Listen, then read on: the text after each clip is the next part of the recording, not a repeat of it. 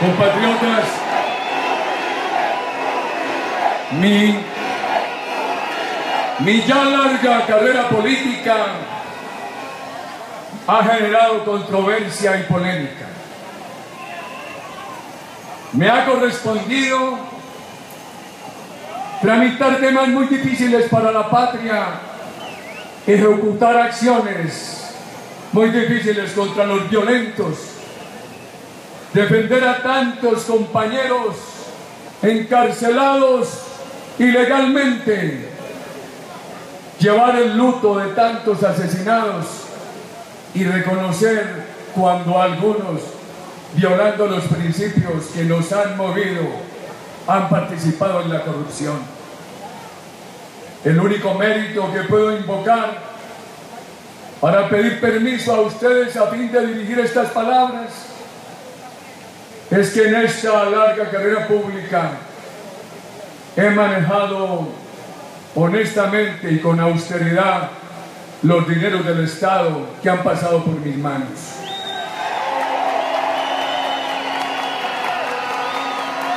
La crisis de Colombia es honda, en lo económico, en lo social, en el riesgo del terrorismo, en el contagio de la dictadura de Maduro en Venezuela. Y es bueno que todos los que hemos acudido hoy a las calles y plazas de la patria hagamos esta reflexión. Varios presidentes de Colombia renunciaron el siglo pasado. Se tuvieron que retirar Y en todos los casos las circunstancias y las causales que alegaron para exigir su retiro fueron muchas menos graves que aquellas en las cuales está en curso el gobierno actual en mora de haberse retirado. El primer, el primer retiro presidencial del siglo pasado fue del general Rafael Reyes, quien había intuido años antes de su presidencia cómo Colombia debía valo- valorar a Panamá. En sus manos no se habría dado la separación de la hermana Panamá. Reyes, el gran realizador, fue obligado a salir de la presidencia porque cerró el Congreso, lo sustituyó por una asamblea, invitó a los liberales y discutía el acuerdo con los Estados Unidos sobre el canal de Panamá. Hicieron un atentado contra él, salió rumbo a Santa Marta, pasó años en el exilio y después cuando los colombianos se dieron cuenta del error que se había cometido con Reyes, se le recibió con todo respeto. Ya en Colombia de nuevo fue a ver la carretera que había construido entre Bogotá y La Mesa. Y según dice Eduardo Lemetre, su historiador, dijo, pero si aquí la dejé yo, han pasado tantos años y me dicen corrupto, ¿por qué no han seguido esta carretera de donde la dejamos los corruptos? La hizo con toda honradez. No, como lo que yo tengo que reconocer por ese viceministro que le quedó mal a Andrés Uriel Gallego, un antioqueño que muchos de ustedes conocieron, que era nuestro ministro que está en el cielo y que era un hombre de manos puras como el oro. Qué tristeza tener que decir yo que un viceministro recomendado por una respetable institución de Cartagena deshonró también con su corrupción el grado de ingeniero civil que había obtenido de la Universidad de los Andes y la maestría de la Universidad Mason de los Estados Unidos. La carretera de Reyes entre Bogotá y La Mesa no fue como el contrato corrupto del actual presidente por 900 mil millones de pesos entre Ocaña y Gamarra, con mentiras. Le digo al país que era para desembotellar a norte de Santander, cuando Ocaña está en toda la frontera de norte de Santander con el Cesar. Y el problema para desembotellar a norte de Santander el de Ocaña o de la cordillera hacia Cúcuta, hacia la frontera. Dijo eso después de que habían abandonado la carretera de Tibú por los motilones a Convención y a La Mata. Y todo ese contrato de 900 mil millones produjo dos efectos.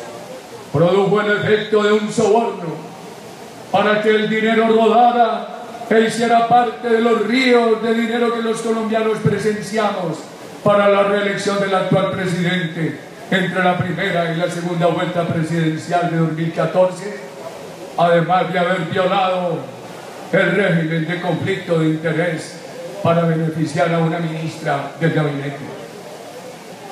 Después de la renuncia del general Rafael Reyes, vino la renuncia de don Marco Fidel Suárez, ilustre hijo de esta tierra. Don Marco, como dice la historiadora Rocío Vélez de Piedraíta, era un hombre amante de la patria. La recorría con gran afecto. Adquirió unos mulares y unas lanchas para poder estar en comunicación con los colombianos y le hicieron que injustos escándalos. Su hijo Gabriel murió en los Estados Unidos víctima de una epidemia gripal de la época y don Marco tuvo que ignorar su sueldo. Alguien en el ejército hizo un contrato de adquisición de uniformes que el presidente Suárez revocó, escindió pero la protesta de los artesanos de Bogotá fue muy grande. No obstante que el presidente Suárez enmendó el error que había cometido alguien del ejército. Suárez fue obligado a renunciar. Yo quiero recordarlo aquí en su tierra natal ante todos los colombianos como un hombre honesto y austero. ¡Guau! ¡Qué distintos eran los viajes de Suárez por el país! A lomo, a lomo de mula y en lancha por los ríos, con austeridad y con cariño, a las caravanas del actual presidente, a las comitivas oficiales a Europa, al derroche del actual gobierno en las casas presidenciales y en las cumbres. Un hombre honrado y austero como Suárez fue obligado a renunciar a la presidencia el derroche del actual gobierno hace mucho rato lo debería haber llevado a estar por fuera del ejercicio presidencial. Después, en este recuento de las crisis del siglo pasado, que no tiene intención distinta en provocar una reflexión de mis compatriotas e invitar a los jóvenes a que repasen esos episodios de la historia, vino uno de los gobiernos más progresistas de todas las épocas, el de Alfonso López Pumarejo, reelegido en 1942, tuvo que renunciar a la presidencia en 1945. Quizá el presidente de Colombia que más entusiasmo popular ha despertado. Su señora estaba enferma lo acusaban de cheques de compañías extranjeras, cheques que ninguno llegó a sus manos, ni él consintió. Alfonso López era visión de patria, era anticipo de acontecimientos, era pragmatismo e integración popular.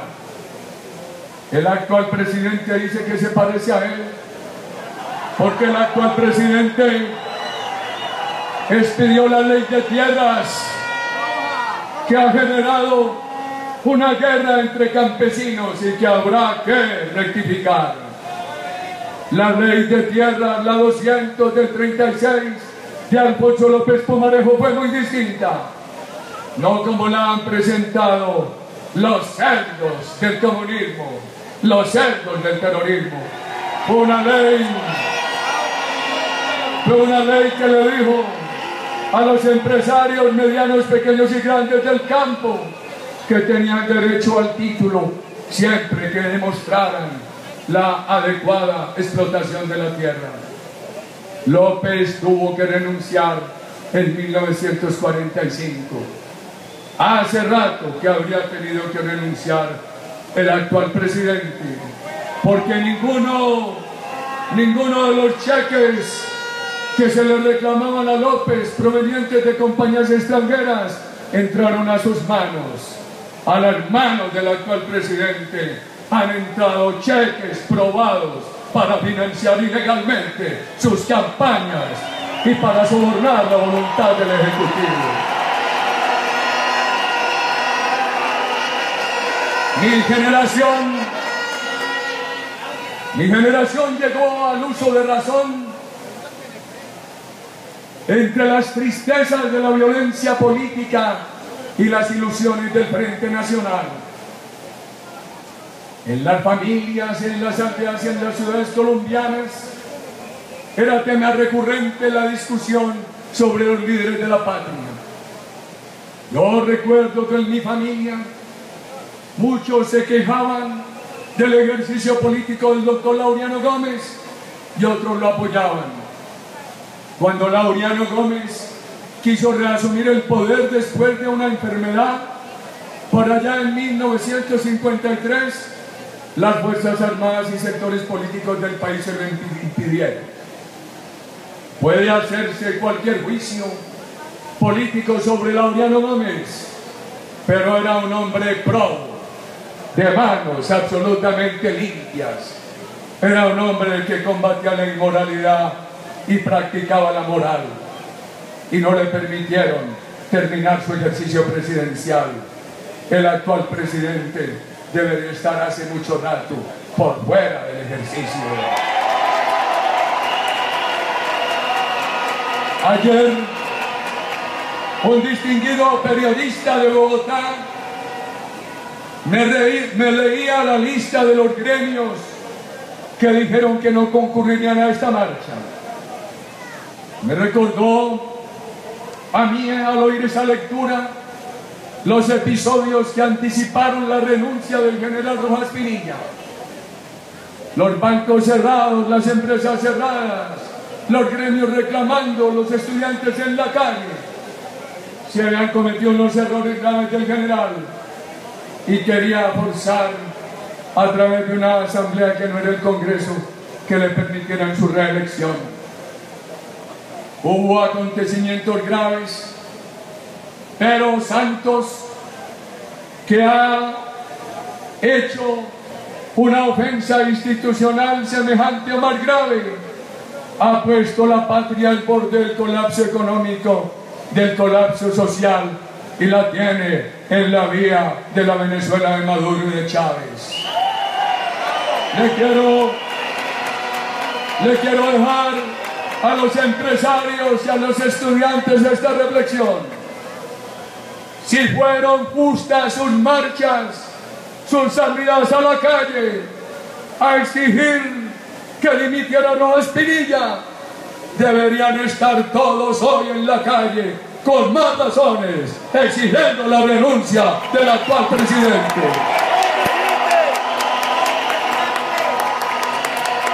Mis compatriotas,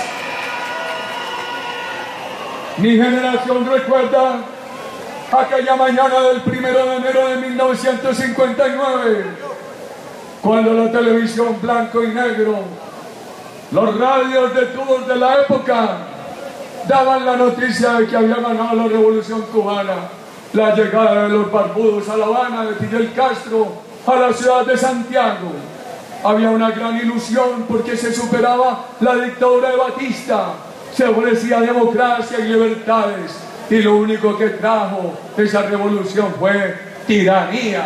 Lo único que trajo fue eliminación de libertades. Lo único que trajo fue empobrecimiento de todo el pueblo cubano, no obstante la gran redención social que habían prometido. Y estábamos viviendo los acontecimientos de Venezuela. Antenoche la tiranía de Maduro daba un paso más en la consolidación del golpe de Estado al exigirle a la Corte de allá, que es el Tribunal Supremo de Justicia, que cerrara, eliminara las competencias del Congreso de allá que es la Asamblea Legislativa. Esta mañana dijeron que iban a echar para atrás la medida, pero ahí sigue la competencia. Ahí está la culebra. El cáncer está vivo. Una tiranía que puede cerrar cualquier poder que no le sea conveniente al tirano en el momento en que lo quiera. En 1998, los venezolanos eligieron con entusiasmo a Chávez. Les prometió liberarlos de la esclavitud de la corrupción y no solamente incrementó la corrupción, sino que también los volvió esclavos de la tiranía socialista. Dijo que no era comunista ni castrista y acabó con las empresas y con los trabajadores.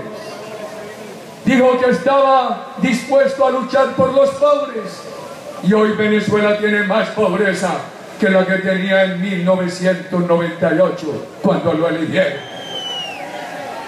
Y cómo me da de tristeza como colombiano presenciar la debilidad del gobierno de Colombia. Cuando el actual presidente era nuestro ministro, buscando que lo apoyáramos, se expresaba como la voz más firme del continente contra Chávez y Castro. ¿Cómo nos engañó?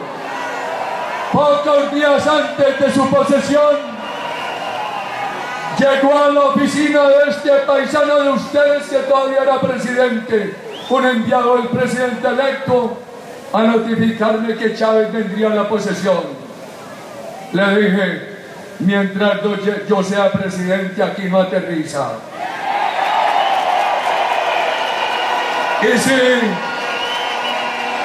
y si en algo me respetan, que esperen hasta las 7 de la noche, que en compañía de mi señora yo haya tomado un avión de Avianca, ya como es presidente, para regresar a nuestra tierra, a la casa en el oriente antioqueño.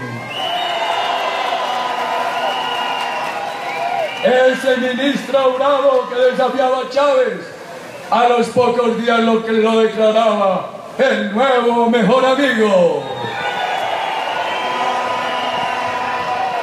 Ese ministro bravo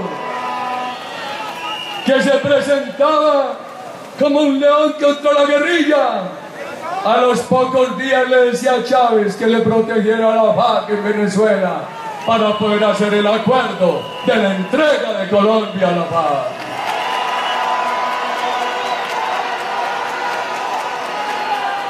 ¿Y cómo se parecen? Chávez perdió el referendo de 2003 y a través de un congreso de esa asamblea legislativa manejada incorporaron todo lo que el pueblo de Venezuela rechazó.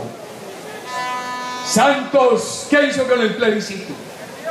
Primero propuso un referendo, después dijo que no podía, que un plebiscito bajó el umbral del 50 al 13%. Además, reunió en una sola pregunta más de 350 páginas de acuerdos con el terrorismo. Intentó comprar el plebiscito. Nos decía, a mí me decían paramilitar y a los colombianos que estábamos por el no, guerreristas. Nos indicaban ante el mundo de enemigos de la paz. Los grupos del sí se gastaron 12 mil millones de dólares, más todo lo que se gastó este gobierno corrupto los del no no más de 12 mil millones de, pesos, los del no no más de 2 mil millones de pesos. Intentaron comprar el plebiscito y no pudieron. Y lo perdieron y lo ganamos.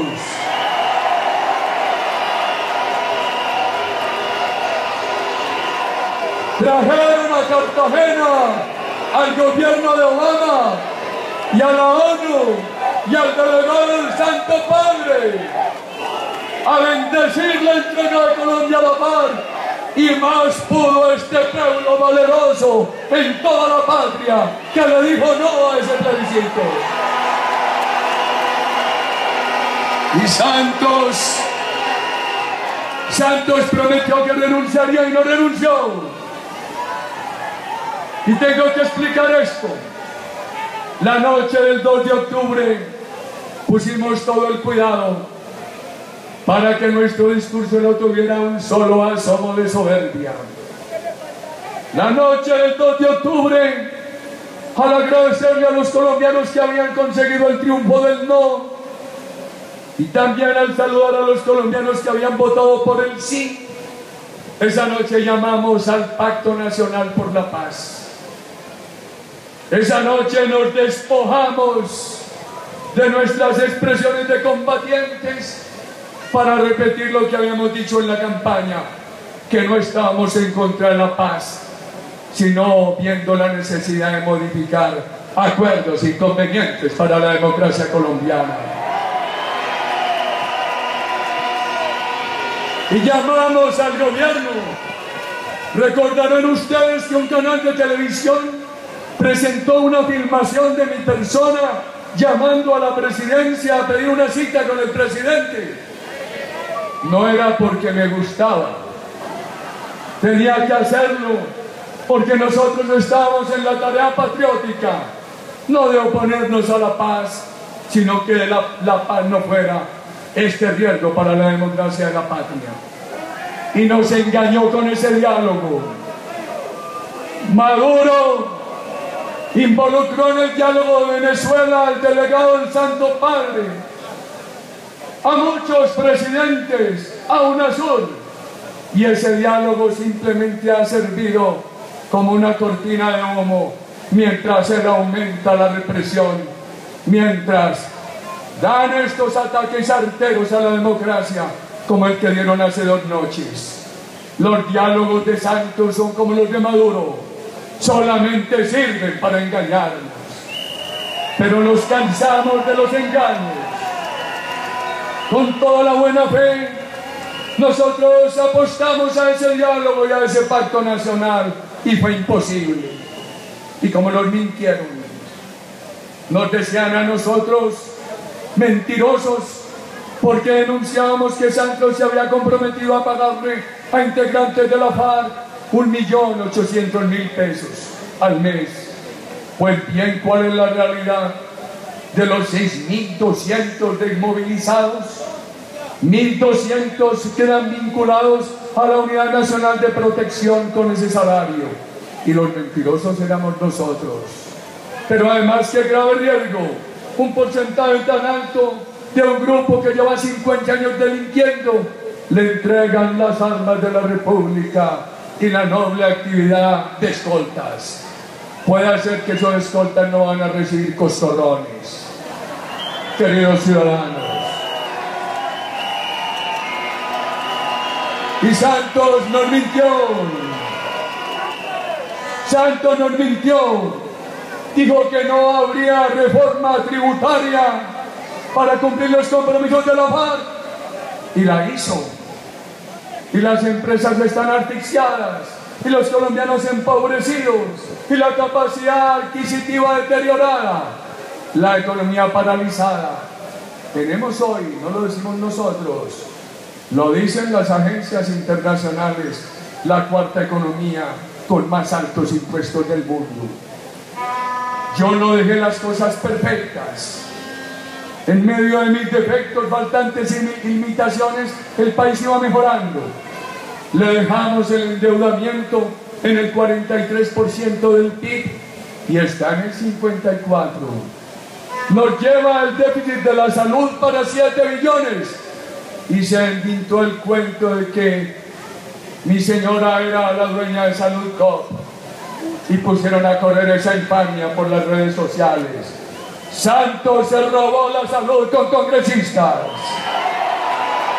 Entonces dicen que el problema de la salud es la ley 100 de Uribe, una ley de 1993, que le abrió las puertas de las clínicas de los ricos a los pobres y que permitió que todos los colombianos pudieran tener aseguramiento de salud.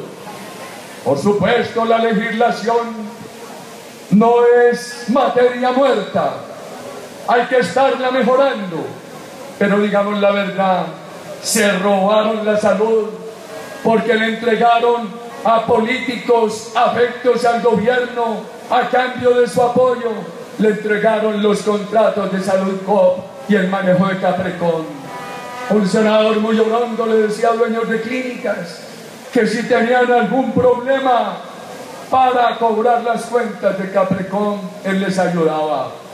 Santos hace mucho rato debería haber renunciado. Nada de eso, nada de eso se puede decir de aquellos que renunciaron en el siglo pasado, como el general Reyes, Marco Fidel Suárez, Alfonso López Pumarejo y Laureano Gómez. ¿Y qué ha pasado con el desempleo? Nosotros dejamos una economía vigorosa donde todo el mundo quería invertir y ayudarla a crecer. Ya el desempleo está otra vez en el 10 y medio. Y eso que se redujo el número de colombianos que buscan empleo, porque muchos cansados dejan de preguntar por el empleo. Si se hubiera mantenido lo que llaman la tasa de participación, el porcentaje de colombianos que buscan empleo en los mismos niveles altos, ese desempleo estaría mucho más arriba. Queridos compatriotas que siguen esta marcha, esta marcha no termina hoy. Esta marcha tiene que seguir en las calles y en las plazas de Colombia para que el presidente denuncie y para que Colombia cambie de rumbo. Esta marcha tiene que seguir en una campaña diaria y generosa para que construyamos una gran coalición que elija un gran presidente el año entrante y ese presidente sin temores, sin vacilaciones y sin engaños se ponga en el oficio de sacar esta democracia adelante y de frenar los caminos al terrorismo. Esta marcha esta marcha no terminó hoy. La patria ha sido una patria de mesura. Cuando uno lee mucha historia de Colombia, como aquel libro publicado por Enrique Serrano hace poco, ¿por qué fracasa Colombia? Llega a la conclusión que ha habido constantes de mesura. Pero la patria hoy está indignada. A los ríos de dinero de la administración Santos, la patria le está oponiendo crecientes ríos de ciudadanos en las calles. Esta marcha continúa, esta marcha continúa para que trabajemos en la recolección de firmas de lo que haya que revocar. Y ahora me referiré. Esta marcha continúa para crear conciencia de aquello que debemos apoyar del proceso con la paz y aquello que debemos revocar. Muchos de los que hemos concurrido hoy a las calles de las ciudades de Colombia, declaramos que queremos que el país le dé oportunidades a los guerrilleros rasos que se han desmovilizado, que les dé generoso apoyo para su reincorporación a la vida constitucional, educación, posibilidades de empleo, de emprendimiento y de familia. Pero no estamos dispuestos a tolerar la impunidad y la entrega del país y la legibilidad sin penas adecuadas en favor de los cabecillas responsables de delitos atroces. Que esta marcha nos lleve a ratificar el apoyo a la reincorporación del guerrillero raso y también nuestra decisión de revocar esa impunidad total que se le ha dado a los responsables de delitos atroces. ¿Qué tal que yo hubiera hecho eso con el paramilitarismo? Es que aquí llegaron al punto también de darle impunidad a los colaboradores de la paz. Y eso está explícito en las leyes que han aprobado por el Fast Track, queridos ciudadanos. Esta marcha continúa porque lo único que prospera hoy en la economía colombiana es el narcotráfico. Hay algunos analistas que dicen que la economía no está en recesión porque el país tiene una irrigación de dinero a partir de 188 mil hectáreas de narcotráfico. Eso no lo vamos a permitir. Esta marcha continúa porque no solamente queremos que se declare el narcotráfico delito atroz, sino porque no vamos a aceptar la ilegítima ley del fast track que nos han impuesto para darle impunidad a los cabecillas narcotraficantes de la paz. Esta marcha, esta marcha continúa porque con colombianos como el coronel John Marulanda, presente en esta tribuna, vamos a trabajar para revocar la justicia humillante creada de acuerdo con los caprichos del terrorismo. Si había, si había una institución en Colombia bien importante, era la Corte Constitucional. Y Santos también la legitimó. Uno no entiende que en una democracia como la de Colombia, la Corte Constitucional le sirva al presidente para avalarle la tesis de que pueden desconocer un plebiscito popular y sustituirlo por una proposición del Congreso.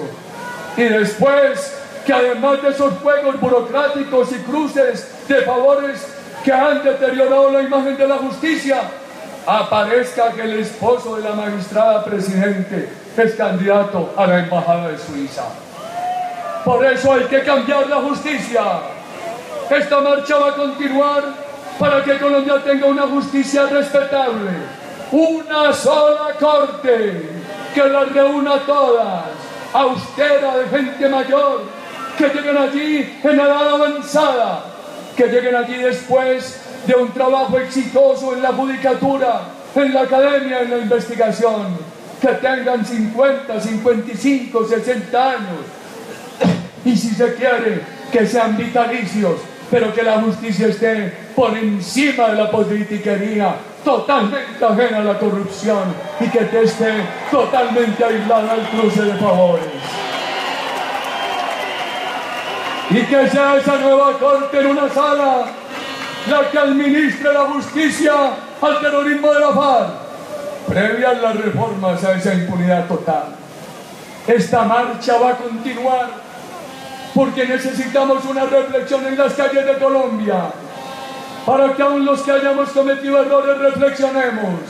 Necesitamos una economía cristiana, pragmática, solidaria. Nosotros estamos diciendo que la coalición que se tiene que construir debe prometerle a los colombianos y cumplirle una reducción sustancial de impuestos. Si se quiere que también se congele el predial cuatro años, muchos colombianos hoy tienen que vender su casita por menos de lo que está en el predial.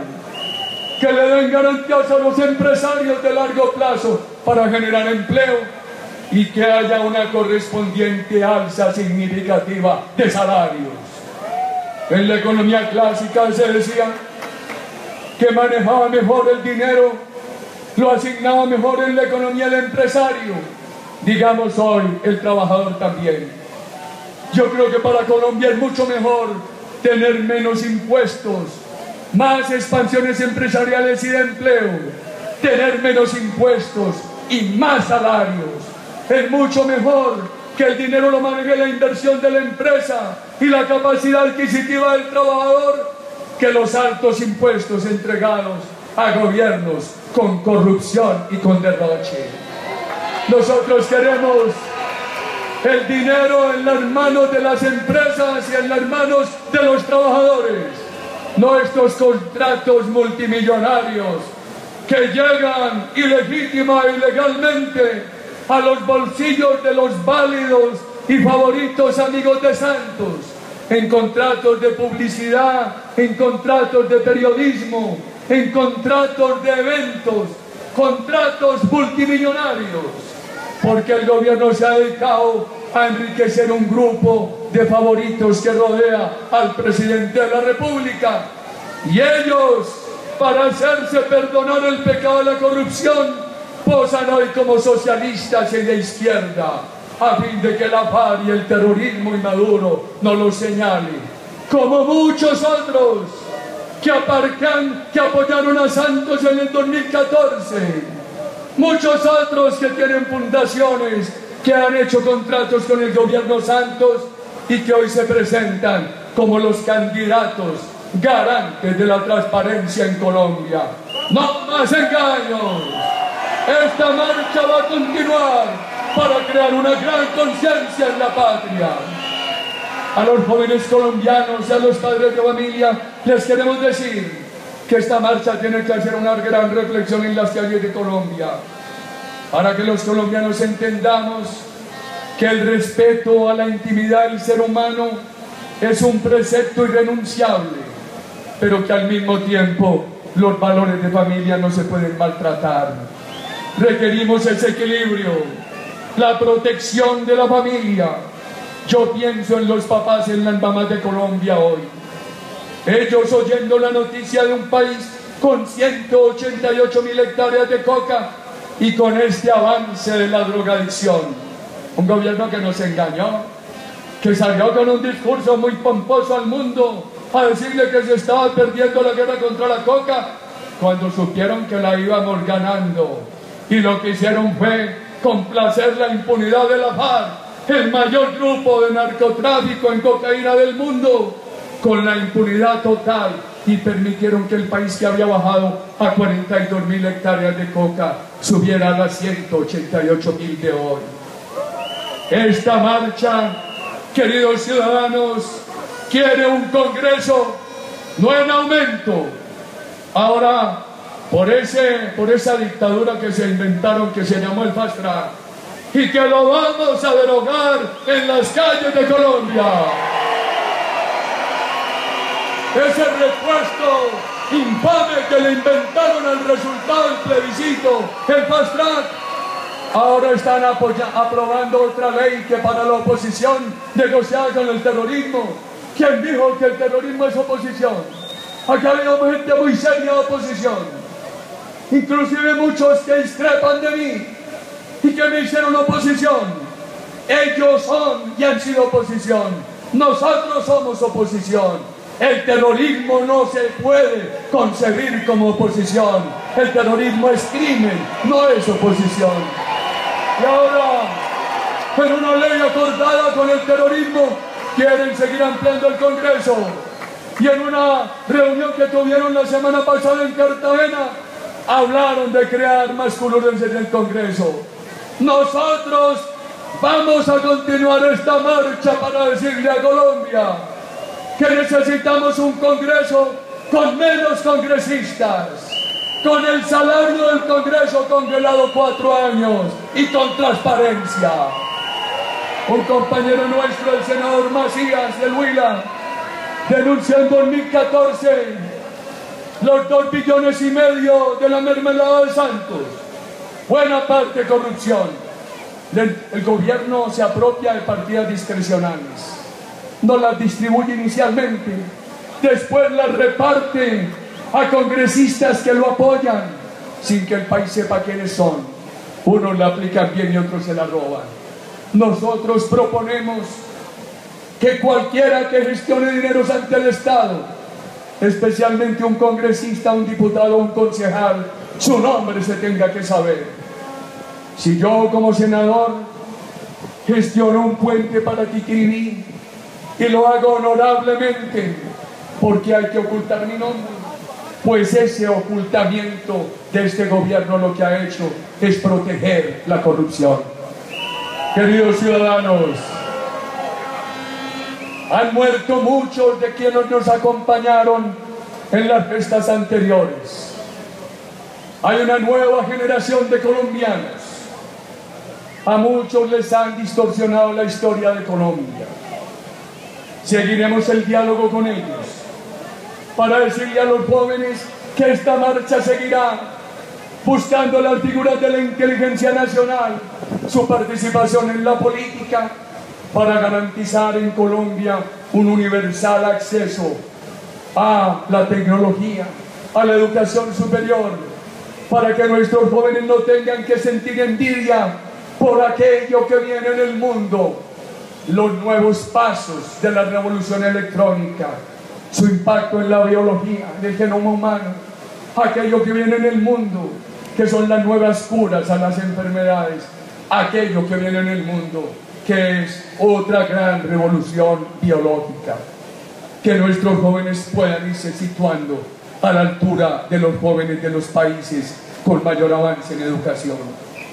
Pero también les digo a estos jóvenes que esta marcha va a continuar porque hay que advertir lo siguiente. Un pensador de los Estados Unidos expresaba que la libertad no se puede garantizar para que trascienda más allá de una generación. Agreguemos, cada generación tiene que recobrar su libertad, tiene que lucharla, mantenerla o recuperarla. Los venezolanos nunca pensaron que iban a perder la libertad. Los pueblos del mundo, los pueblos del mundo se han enterado que pierden la libertad o que la podían perder en el momento que los toma por sorpresa de que la han perdido.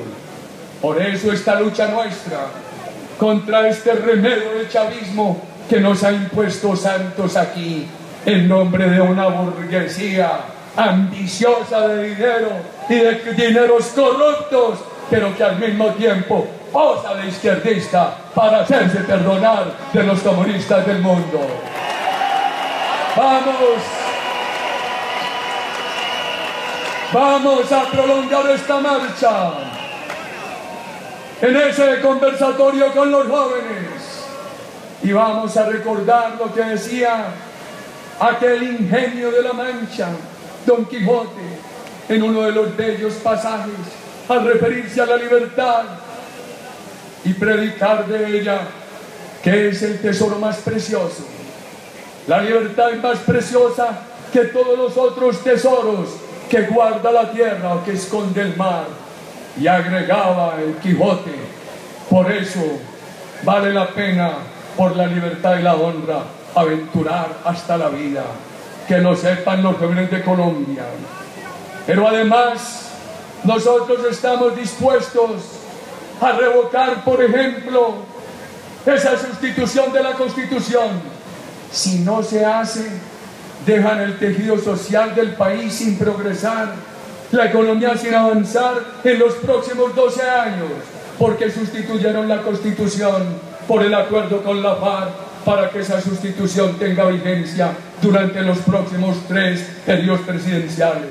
Algo parecido pasó en El Salvador.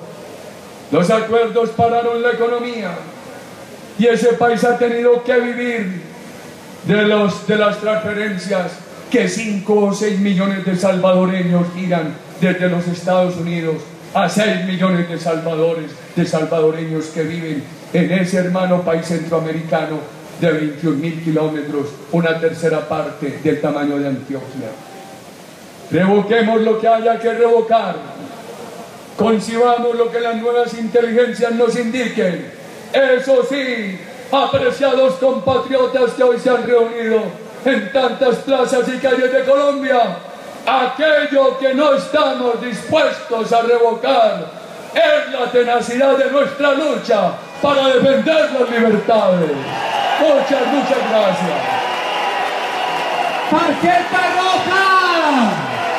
¡Arriba, arriba!